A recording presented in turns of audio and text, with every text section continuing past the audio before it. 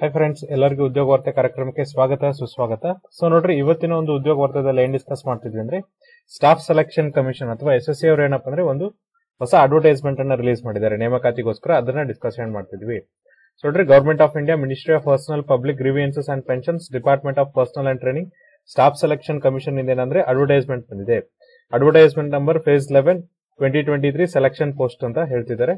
So ನೋಡ್ರಿ online applications ಯಾವಾಗ start ಆಗುತ್ತೆ ಅಂದ್ರೆ ಆರು ಮೂರು ಎರಡ್ ಸಾವಿರದ ಇಪ್ಪತ್ತ್ ಮೂರಿಂದ ಸ್ಟಾರ್ಟ್ ಆಗುತ್ತೆ.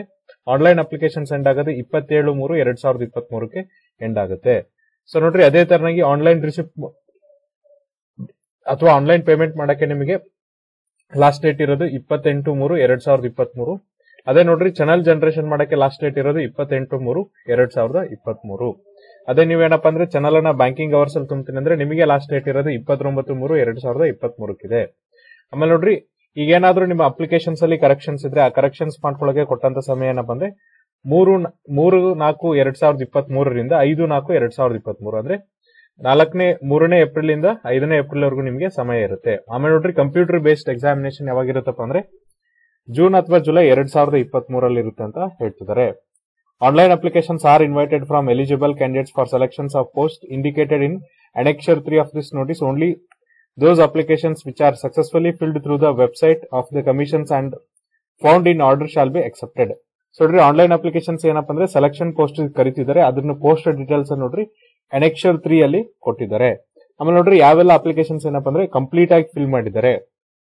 ಜೊತೆಗೆ ನೋಡ್ರಿ, ಯಾವೆಲ್ಲ ಅಪ್ಲಿಕೇಶನ್ಸ್ ಏನಪ್ಪ ಅಂದ್ರೆ ಕರೆಕ್ಟ್ ಆಗಿದೆ. ಅವನ್ ಮಾತ್ರ ಏನ್ ಮಾಡ್ತಾರೆ ಅಂದ್ರೆ ಅಕ್ಸೆಪ್ಟ್ ಅನ್ನ ಮಾಡ್ತಾರೆ.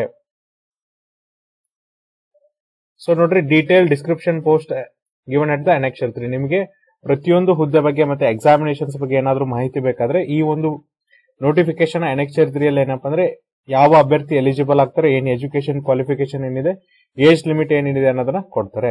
ಅದೇ ನೋಡ್ರಿ ಎಸ್ ಎಸ್ ಸಿಗೆ ನೀವು ಹೋಗಿ ಲಾಗಿನ್ ಆದ್ರೆ first S T D P S colon slash slash S S C dot N I C dot in ಹೋಗಿ ಅಲ್ಲಿ ಕ್ಯಾಂಡಿಡೇಟ್ ಡ್ಯಾಶ್ ಬೋರ್ಡ್ಗೆ ಹೋಗ್ಬೇಕು, ಆಮೇಲೆ ಲೇಟೆಸ್ಟ್ ನೋಟಿಫಿಕೇಶನ್ಸ್ ಹೋದ್ರೆ phase eleven post details link ಅಂತ ಸಿಗುತ್ತೆ.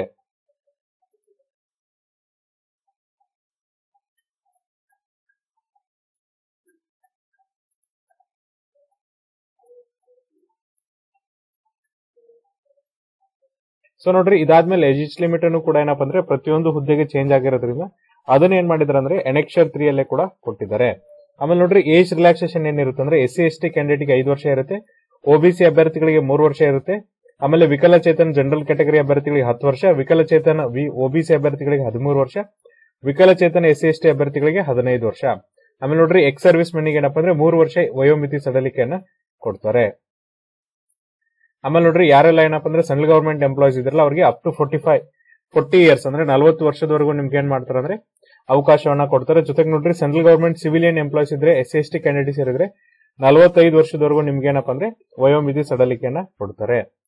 ಆಮೇಲೆ ಯಾರೆಲ್ಲ ವಿಧಿವೇರ್ ಇದೀರಾ ಡೈವರ್ಸ್ ವುಮನ್ ಇದ್ದೀರಾ, ಆಮೇಲೆ ವುಮನ್ಸ್ ಆರ್ ಜುಡಿಷಿಯಲಿ ಸಪರೇಟೆಡ್ ಇದ್ರಲ್ಲ, ಇವರಿಗೆ ಮೂವತ್ತೈದು ವರ್ಷದವರೆಗೂ ಏನಪ್ಪ ಅಂದ್ರೆ ವಯೋಮಿತಿ ಸಡಲಿಕೆ ಇರುತ್ತೆ. ಅದೇ ಎಸ್ ಎಸ್ ಟಿ ಕ್ಯಾಂಡಿಡೇಟ್ ಆಗಿದ್ರೆ ನಲವತ್ತು ವರ್ಷದವರೆಗೂ ವಯೋಮಿತಿ ಸಡಲಿಕೆ ಇರುತ್ತೆ.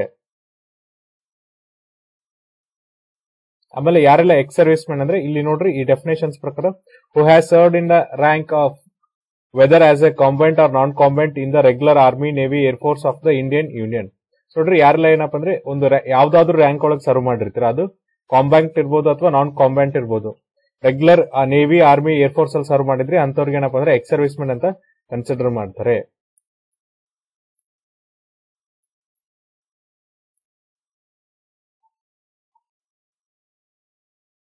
ಆಮೇಲೆ ನೋಡ್ರಿ crucial date of essential education and age qualifications essential qualifications and age limit for each post as per the requirement of the concern department and minister are mention in the annexure 3 the crucial date of determining age limit will be 1 1 2023 the possession of essential qualifications and experience will be 27 3 and 2023 so ನೋಡ್ರಿ, ನಿಮ್ಮ ವಯೋಮಿತಿಯನ್ನ determine ಮಾಡಕ್ಕೆ crucial date ಯಾವ್ದಪ್ಪ ಅಂದ್ರೆ ಒಂದು ಒಂದು ಎರಡ್ ಸಾವಿರದ ಇಪ್ಪತ್ತ್ ಮೂರು ಅದೇ ಎಸೆನ್ಷಿಯಲ್ ಕ್ವಾಲಿಫಿಕೇಶನ್ಸ್ ಅಥವಾ ವಿದ್ಯಾರ್ಥಿ ಮತ್ತೆ ಅನುಭವ ನೋಡೋದಕ್ಕೆ ನಿಮಗಿರುವಂತಹ ಕ್ರೂಷಿಯಲ್ ಡೇಟ್ ಯಾವ್ದಪ್ಪ ಅಂದ್ರೆ ಇಪ್ಪತ್ತೇಳು ಮೂರು ಎರಡ್ ಸಾವಿರದ ಇಪ್ಪತ್ತ್ ಮೂರು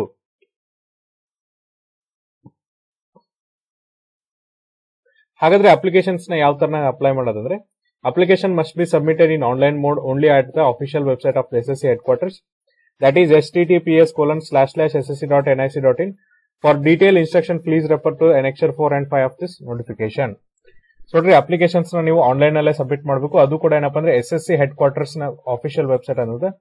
S T T P S colon slash slash S S C dot N I C dot in ಮೂಲಕನೇ ಸಬ್ಮಿಟ್ ಮಾಡ್ಬೇಕಂತ ಹೇಳ್ತಿದ್ದಾರೆ. ಆಮೇಲೆ ನೋಡ್ರಿ ಅಪ್ಲಿಕೇಶನ್ಸ್ ಸಬ್ಮಿಟ್ ಮಾಡಕ್ಕೆ ಕಡೆಯ ದಿನಾಂಕ ಯಾವ್ದಪ್ಪ ಅಂದ್ರೆ ಇಪ್ಪತ್ತೇಳು ಮೂರು ಎರಡ್ ಸಾವಿರದ ಇಪ್ಪತ್ಮೂರು. ಆಮೇಲೆ ಅಪ್ಲಿಕೇಶನ್ ಫೀಸ್ ಎಷ್ಟಿದೆ ಅಂದ್ರೆ ನೋಡ್ರಿ fee payable R S hundred rupees only ನೀವೇನಪ್ಪ ಅಂದ್ರೆ ಅಪ್ಲಿಕೇಶನ್ ಫೀಸ್ ಎಷ್ಟು ತುಂಬಬೇಕಂದ್ರೆ ಕೇವಲ ನೂರು ರೂಪಾಯಿನ ತುಂಬಬೇಕು ಜೊತೆಗೆ ನೋಡ್ರಿ, ಮಹಿಳಾ ಅಭ್ಯರ್ಥಿಗಳಿಗೆ ಎಸ್ ಸಿ ಎಸ್ ಟಿ ಅಭ್ಯರ್ಥಿಗಳಿಗೆ ಆಮೇಲೆ ವಿಕಲಚೇತನ ಅಭ್ಯರ್ಥಿಗಳಿಗೆ, ಆಮೇಲೆ ಮಾಜಿ ಸೈನಿಕ ಅಭ್ಯರ್ಥಿಗಳಿಗೆ ಯಾವುದೇ ತರನಂತ ಅಪ್ಲಿಕೇಶನ್ ಫೀಸ್ ಇರಲ್ಲ. ಸೊ ಮಹಿಳಾ ಅಭ್ಯರ್ಥಿಗಳಿಗೆ ಎಸ್ ಸಿ ಎಸ್ ಟಿ ಅಭ್ಯರ್ಥಿಗಳಿಗೆ, ಆಮೇಲೆ ವಿಕಲಚೇತನ ಅಭ್ಯರ್ಥಿಗಳಿಗೆ ಎಕ್ಸ್ ಸರ್ವಿಸ್ ಮೆನ್ ಅಭ್ಯರ್ಥಿಗಳಿಗೆ ಏನಪ್ಪ ಅಂದ್ರೆ ಯಾವುದೇ ತರನಾಗಿ ಅಪ್ಲಿಕೇಶನ್ ಫೀಸ್ ಇರಲ್ಲ. ಇದು ಬಿಟ್ಟು ಎಲ್ಲಾ ಅಭ್ಯರ್ಥಿಗಳಿಗೆ ಏನಪ್ಪ ಅಂದ್ರೆ ನೂರು ರೂಪಾಯಿ ಅಪ್ಲಿಕೇಶನ್ ಫೀಸ್ ಇರುತ್ತೆ. ಇದನ್ನ ನೀವೇನಪ್ಪ ಅಂದ್ರೆ Bhim U P I use ಮಾಡಿಕೊಂಡು ನೆಟ್ ಬ್ಯಾಂಕಿಂಗ್ ಯೂಸ್ ಮಾಡ್ಕೊಂಡು, ಅಥವಾ Visa Master Maestro RuPay credit ಅಥವಾ ಡೆಬಿಟ್ ಕಾರ್ಡ್ ಯೂಸ್ ಮಾಡ್ಕೊಂಡು ಏನಪ್ಪ ಅಂದ್ರೆ ಪೇ ಮಾಡಬಹುದು ಇನ್ ಕೇಸ್ ನಿಮ್ಮ ಹತ್ರ ಈ ಆಪ್ಷನ್ ಇಲ್ಲ ಅಂದ್ರೆ ಚಾನಲ್ ಅನ್ನ ಜನರೇಟ್ ಮಾಡ್ಕೊಂಡು nearest S B I branch ಅಲ್ಲಿ ಹೋಗಿ ನೀವೇನಪ್ಪ ಅಂದ್ರೆ ಈ ಚಲನನ್ನ ತುಂಬೋದ್ರಿಂದ ನೀವು ಅಪ್ಲಿಕೇಶನ್ ಫೀಸ್ ಅನ್ನ ತುಂಬಬೇಕಂತ ಹೇಳ್ತಿದ್ದಾರೆ. ಆನ್ಲೈನ್ ಫೀನ ನೀವು ನೋಡ್ರಿ ಇಪ್ಪತ್ತೆಂಟು ಮೂರು ಎರಡ್ ಸಾವಿರದ ಇಪ್ಪತ್ತ್ ಮೂರವರೆಗೂ ಪೇ ಮಾಡಬಹುದು ಅಂತ ಹೇಳ್ತಿದ್ದಾರೆ. ಇನ್ ಕೇಸ್ ನೀವು ಚಾನಲ್ ಅನ್ನ ಜನರೇಟ್ ಮಾಡಿದ್ರೆ ಅದನ್ನ ಇಪ್ಪತ್ತೊಂಬತ್ತು ಮೂರು ಎರಡ್ ಸಾವಿರದ ಇಪ್ಪತ್ತ್ ಮೂರು ಬ್ಯಾಂಕಿಂಗ್ ಅವರ್ಸ್ ಅಲ್ಲಿ ತುಂಬಬಹುದು ಅಂತ ಹೇಳ್ತಿದ್ದಾರೆ. ಆಮೇಲೆ ನೋಡ್ರಿ ಕರ್ನಾಟಕದಲ್ಲಿ ಎಲ್ಲಿ ಎಕ್ಸಾಮಿನೇಷನ್ ಸೆಂಟರ್ಸ್ ಇದೆ ಅಂತ ನೋಡ್ತಾ ಹೋದ್ರೆ ನೋಡ್ರಿ ಕರ್ನಾಟಕದಲ್ಲಿ ಬೆಳಗಾವಿ, ಬೆಂಗಳೂರು, ಹುಬ್ಬಳ್ಳಿ, ಕಲಬುರಗಿ, ಮಂಗಳೂರು, ಮೈಸೂರು, ಶಿವಮೊಗ್ಗ, ಉಡುಪಿ, ಇಲ್ಲೇನಪ್ಪ ಅಂದ್ರೆ ಎಕ್ಸಾಮಿನೇಷನ್ ಸೆಂಟರ್ ಇದೆ ಇಲ್ಲಿ. ಬೆಳಗಾವಿ, ಬೆಂಗಳೂರು, ಹುಬ್ಬಳ್ಳಿ, ಕಲಬುರಗಿ, ಮಂಗಳೂರು, ಮೈಸೂರು, ಶಿವಮೊಗ್ಗ ಮತ್ತೆ ಉಡುಪಿಲಿ ಏನಪ್ಪ ಅಂದ್ರೆ ಎಕ್ಸಾಮಿನೇಷನ್ ಸೆಂಟರ್ ಇರುತ್ತೆ ಅಂತ ಹೇಳ್ತಿದ್ದಾರೆ. ಆಮೇಲೆ ನೋಡ್ರಿ ಎಕ್ಸಾಮಿನೇಷನ್ ಸ್ಕೀಮ್ ಏನಿರುತ್ತೆ ಅಂದ್ರೆ there will be three separate computer based examination consisting of objective type multiple choice question for the post with a minimum education qualification of matriculation, higher secondary, graduation and above classes. The details of the subject and marks under will be as follows.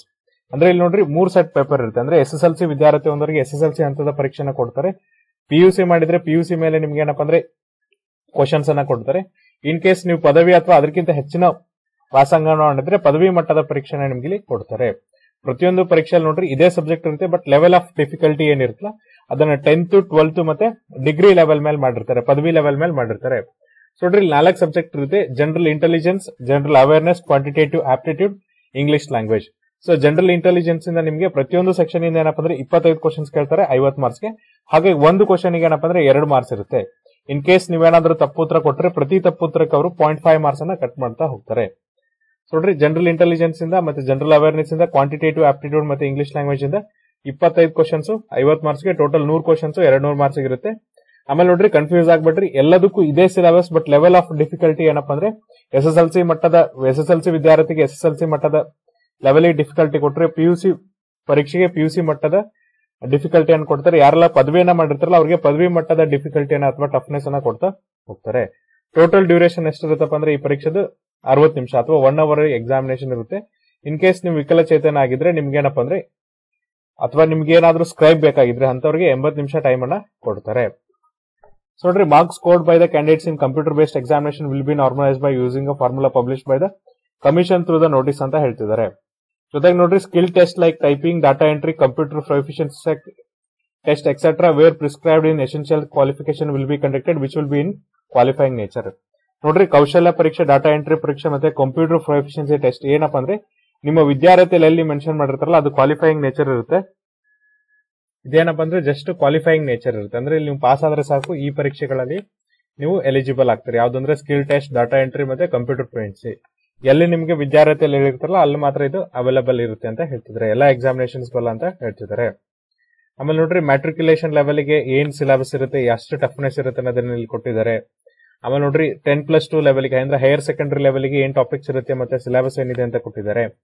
ಇದಾದ್ಮೇಲೆ ನೋಡ್ರಿ graduation and ಅಬೋ ಅಂದ್ರೆ ಪದವಿಗಿಂತ ಉನ್ನತ ಮಟ್ಟದಲ್ಲಿ ನೀವು ಕಲ್ತಿದ್ರೆ ಅಲ್ಲಿ ನಿಮಗೆ ಏನ್ syllabus ಇದೆ ಅಂತ ಹೇಳಿ ಸಿಲೆಬಸ್ ಅನ್ನು ಕೂಡ ಏನಪ್ಪಾ ಅಂದ್ರೆ ಇಲ್ಲಿ ಮೆನ್ಷನ್ ಅನ್ನ ಮಾಡಿದ್ದಾರೆ. ಅಂದ್ರೆ ಪ್ರತಿಯೊಂದು ಹಂತದಲ್ಲಿ ಏನಪ್ಪಾ ಅಂದ್ರೆ ನಿಮಗೆ ಚೇಂಜ್ ಆಗ್ತಾ ಹೋಗುತ್ತೆ. ಪರೀಕ್ಷೆ ಟಫ್ನೆಸ್ ಏನಾಗ್ತಪ್ಪ ಅಂದ್ರೆ ಚೇಂಜ್ ಆಗ್ತಾ ಹೋಗುತ್ತೆ. ಈಗ ನೋಡ್ರಿ, ನಾವೇನ್ ಮಾಡೋಣ ಅಂದ್ರೆ ಡೈರೆಕ್ಟ್ ಆಗಿ ಎನೆಕ್ಷರ್ ತ್ರೀ ಹೋಗ್ಬಿಡೋಣ. ನೋಡ್ರಿ ಎನೆಕ್ಷರ್ ತ್ರೀ ಅಲ್ಲಿ ಒಟ್ಟು ಎಷ್ಟಪ್ಪ ಅಂದ್ರೆ, ಒಂದು more than three fifty two posters ಇದೆ. ಹಾಗಾಗಿ ಪ್ರತಿಯೊಂದು ನಿಮಗೆ ಇಲ್ಲಿ ಏನಪ್ಪ ಅಂದ್ರೆ ಹೇಳಕ್ಕಾಗಲ್ಲ. ಸೊ ನೋಡ್ರಿ, ಇಲ್ಲಿ ಏನಪ್ಪ ಅಂದ್ರೆ, ಪ್ರತಿಯೊಂದು ಪೋಸ್ಟಿಗೂ ನಾರ್ಮಲ್ ಆಗಿ ಹದಿನೆಂಟರಿಂದ ಮೂವತ್ತು ಹದಿನೆಂಟರಿಂದ ಇಪ್ಪತ್ತೇಳು ವಯಸ್ಸಿಗೆ ಏಜ್ ಲಿಮಿಟ್ ಇದೆ. ಹಾಗಾಗಿ ನೋಡ್ರಿ, ಯಾರೆಲ್ಲ ಈ ವಿಡಿಯೋನ ನೋಡ್ತಿದ್ರಲ್ಲ ಅವ್ರೇನ್ ಮಾಡ್ರಂದ್ರೆ ನಾವು ನಮ್ಮ ಡಿಸ್ಕ್ರಿಪ್ಷನ್ ಬಾಕ್ಸ್ ಅಲ್ಲಿ ಪಿ ಡಿ ಎಫ್ ಲಿಂಕ್ ಅನ್ನ ಕೊಟ್ಟಿರ್ತೀವಿ. ಆ ಲಿಂಕ್ ಅನ್ನ ಕ್ಲಿಕ್ ಮಾಡಿ, ನಿಮಗೆ entire P D F download ಆಗುತ್ತೆ. ಅಲ್ಲಿ ನೀವೇನ್ ಮಾಡಿದ್ರೆ ಪ್ರತಿಯೊಂದು ಹುದ್ದೆ ನಿಮ್ಗೆ ಎಲಿಜಿಬಲ್ ಇದೆಯೋ ಇಲ್ಲೋ ಅಂತೇಳಿ ನೋಡ್ತಾ ಹೋಗ್ರಿ. ಯಾಕಂದ್ರೆ ಟೋಟಲ್ ಆಗಿ ಮೋರ್ ದನ್ ಏನಪ್ಪ ಅಂದ್ರೆ ಫೈವ್ ಹಂಡ್ರೆಡ್ ಪೋಸ್ಟರ್ಸ್ ಇಲ್ಲಿ ಮೆನ್ಷನ್ ಅನ್ನ ಮಾಡಿದ್ದಾರೆ. ಸೊ ಪ್ರತಿಯೊಂದು ಪೋಸ್ಟ್ ಏನಪ್ಪ ಅಂದ್ರೆ ಏಜ್ ಲಿಮಿಟ್ ಮ್ಯಾಟ್ರಿಕ್ಯುಲೇಷನ್ ಹೌದೋ ಇಲ್ವೋ ಅಥವಾ ಯಾವ ಡಿಪಾರ್ಟ್ಮೆಂಟ್ ಅಲ್ಲಿ ಇದೆ ಅದನ್ನೆಲ್ಲ ಹೇಳಕ್ಕಾಗಲ್ಲ. ಹಾಗಾಗಿ ನಾವೇನ್ ಮಾಡ್ತೀವಿ ಅಂದ್ರೆ ನಿಮಗೆ ವಿಡಿಯೋದ ಲಿಂಕ್ ಅಲ್ಲಿ ಡಿಸ್ಕ್ರಿಪ್ಷನ್ ಬಾಕ್ಸ್ ಅಲ್ಲಿ ಏನಪ್ಪ ಅಂದ್ರೆ ಈ ಒಂದು ಪಿ ಡಿ ಎಫ್ ಲಿಂಕ್ ಅನ್ನ ಕೊಡ್ತೀವಿ. ಆ ಲಿಂಕ್ ಅನ್ನ ಕ್ಲಿಕ್ ಮಾಡಿದ್ರೆ ನಿಮಗೆ ಎಂಟೈರ್ ಪಿ ಡಿ ಎಫ್ ನೋಡೋಗುತ್ತೆ. ಅಲ್ಲಿ ನೀವೇನ್ ಮಾಡಿದ್ರೆ ಪಾಸ್ ಮಾಡ್ಕೊಂಡು ಪ್ರತಿಯೊಂದು ಪೋಸ್ಟ್ ಅನ್ನು ಕೂಡ ನೋಡ್ಕೊಂಡು ಹೋಗ್ರಿ. ಅಂದ್ರೆ ಈಗ ನೋಡ್ರಿ ಜೂನಿಯರ್ ಕಂಪ್ಯೂಟರ್ ಅಂದ್ರೆ ಯಾವ ಡಿಪಾರ್ಟ್ಮೆಂಟ್ ಅಲ್ಲಿ ಇದೆ? ಏಜ್ ಲಿಮಿಟ್ ಏನು? ಎಷ್ಟು ಪೇ ಸ್ಕೇಲ್ ಕೊಡ್ತಾರೆ? ಅದು ವಿದ್ಯಾರ್ಹತೆ ಏನು? ಸೊ ನೋಡ್ರಿ ವಿದ್ಯಾರ್ಹತೆ ಸಿಂಪಲ್ ಒಂದೇನಪ್ಪ ಅಂದ್ರೆ ಎಸ್ ಎಲ್ ಸಿ ಪಾಸ್ ಆಗಿರ್ಬೇಕು, ಅದಕ್ಕೆ ಮ್ಯಾಟ್ರಿಕುಲೇಷನ್ ಅಂತ ಕರೀತಾರೆ. ಪಿ ಯು ಸಿ ಪಾಸ್ ಆಗಿರ್ಬೇಕು, ಅದಕ್ಕೆ ಹೈಯರ್ ಸೆಕೆಂಡರಿ ಅಂತ ಕರೀತಾರೆ. ಬಿಟ್ಟು ನೆಕ್ಸ್ಟ್ ಏನಪ್ಪ ಅಂದ್ರೆ ಗ್ರಾಜುಯೇಷನ್ ಅಂಡ್ ಅಬ್ ಈ ಮೂರೇ ಕ್ವಾಲಿಫಿಕೇಶನ್ಸ್ ಇರೋದ್ರಿಂದ ಈ ಹುದ್ದೆಗಳನ್ನ ನೀವು ನೋಡ್ತಾ ಹೋಗ್ರಿ. ಯಾಕಂದ್ರೆ more than five hundred post ಇದೆ. ಆ ಫೈವ್ ಹಂಡ್ರೆಡ್ ಪೋಸ್ಟ್ ನಿಮ್ಗೆ ಏನಪ್ಪ ಅಂದ್ರೆ ಕಂಪ್ಲೀಟ್ ಆಗಿ ಇಲ್ಲಿ ಎಕ್ಸ್ಪ್ಲನೇಷನ್ ಅದು ಪ್ರಾಕ್ಟಿಕಲಿ ಇಂಪಾಸಿಬಲ್ ಆಗುತ್ತೆ. ಹಾಗಾಗಿ ನೀವೇ ಏನ್ ಮಾಡ್ರಿ ಅಂದ್ರೆ ವಿಡಿಯೋ ಮುಗಿದ ತಕ್ಷಣ ಈ ಒಂದು ಪಿ ಡಿ ಎಫ್ ಅನ್ನ ಡೌನ್ಲೋಡ್ ಮಾಡಿಕೊಂಡು ಆ ಲಿಂಕ್ ಅನ್ನ ಕ್ಲಿಕ್ ಮಾಡಿದ್ರೆ ನಿಮ್ ಪಿ ಡಿ ಎಫ್ ನೋಡೋಗುತ್ತೆ ಅಲ್ಲಿ ನಿಮ್ಗೆ ಏನಪ್ಪ ಅಂದ್ರೆ ಸೆವೆಂಟಿ ಫೋರ್ತ್ ಪೇಜ್ಗೆ ಸಮಥಿಂಗ್ ಏನಪ್ಪಾ ಅಂದ್ರೆ ನಿಮ್ಗೆ ಎನೆಕ್ಷರ್ ತ್ರೀ ಸಿಗುತ್ತೆ. ಆ ಎನೆಕ್ಷರ್ ತ್ರೀನ ನೀವು ಓಪನ್ ಮಾಡಿದ್ರೆ ನಿಮ್ಗೆ ಯಾವ್ಯಾವ ಪೋಸ್ಟ್ ಎಷ್ಟೆಷ್ಟು ಹುದ್ದೆಗಳಿವೆ, ಏನೇನು ಎಜುಕೇಶನ್ ಕ್ವಾಲಿಫಿಕೇಶನ್ಸ್ ಇದೆ, ಅದನ್ನ ನೀವು ನೋಡ್ಕೊಟ್ರಿ ಯಾಕಂದ್ರೆ ನಿಮ್ಗೆ ಕಂಪ್ಲೀಟ್ ಆಗಿ ಡೀಟೇಲ್ಸ್ ಆಗಿ ಗೊತ್ತಾಗ್ಬಿಡುತ್ತೆ. ನೋಡ್ರಿ, ಇಲ್ಲಿ ಮೋರ್ ದನ್ ಎಷ್ಟು ಹುದ್ದೆ ಇದೆ ಅಂತ ಇಲ್ಲಿ ಹೇಳ್ತಾ ಹೋಗ್ತಾರೆ. ನೋಡ್ರಿ ಮೋರ್ ದನ್ ಏನಪ್ಪಾ ಅಂದ್ರೆ ಇಲ್ಲಿ ಐದ್ನೂರ ನಲವತ್ತೊಂಬತ್ತು ಪೋಸ್ಟ್ಗಳಿವೆ ಒಟ್ಟು ವೇಕೆನ್ಸೀಸ್ ಎಷ್ಟಿದೆ ಅಂದ್ರೆ ಐದ್ ಸಾವಿರದ ಮುನ್ನೂರ ಅರವತ್ತೊಂಬತ್ತು. ವೇಕೆನ್ಸೀಸ್ ಇದೆ. ಹಾಗಾಗಿ ನಾನು ಏನಪ್ಪ ಅಂದ್ರೆ ಪ್ರತಿಯೊಂದು post education qualification age limit ಹೇಳಕ್ಕಾಗಲ್ಲ. ಸೊ ಇದು ಪ್ರಾಕ್ಟಿಕಲಿ ಇಂಪಾಸಿಬಲ್ ಆಗಿರೋದ್ರಿಂದ ನೀವು ಪಿ ಡಿ ಎಫ್ ಲಿಂಕ್ ಅನ್ನ ಡೌನ್ಲೋಡ್ ಮಾಡ್ಕೊಂಡು ಅದನ್ನ ನೋಡ್ತಾ ಹೋಗ್ರಿ. ಸೊ ಇದೇ ತರನಾಗಿ ಏನಪ್ಪ ಅಂದ್ರೆ ನಾವು ನಿಮ್ಗೆ ಇನ್ನೂ ಉದ್ಯೋಗದ ಮಾಹಿತಿಯನ್ನ ಕೊಡ್ತಾ ಹೋಗ್ತೀವಿ. ಅಲ್ಲಿವರೆಗೂ ನೋಡ್ತಾ ಇರಿ ಉದ್ಯೋಗ ವಾರ್ತೆ ಕಾರ್ಯಕ್ರಮ. Thank you